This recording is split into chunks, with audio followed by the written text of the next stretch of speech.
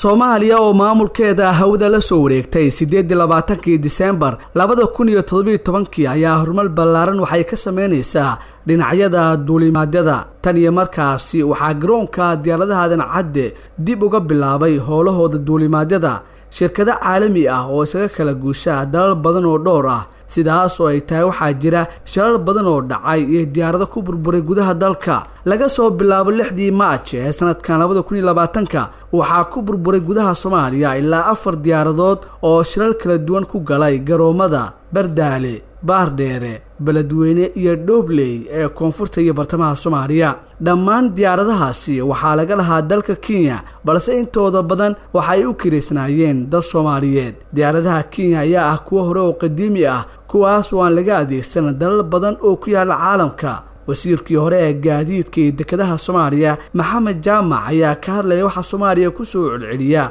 burburka diyaaradaha laga leeyahay dalka kenya wuxuuna tilmaamay in ay yihiin kuwa waqti hore laga tegay balse kenya u soo dirta keliya soomaaliya isagoo shaaciyey in waxyeelo kala duwan iyo khasaare ay kala kulmaan dadka soomaaliyeed. Dowladda kenya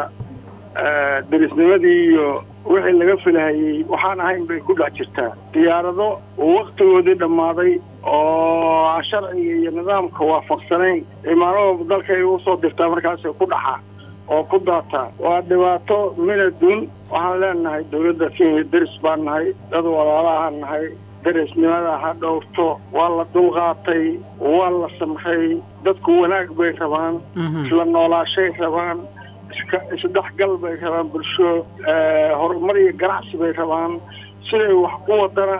si intaas lagu helayo ama lagu gaarahayo maahan. Marka waxaan leenahay ugu baaqaynaa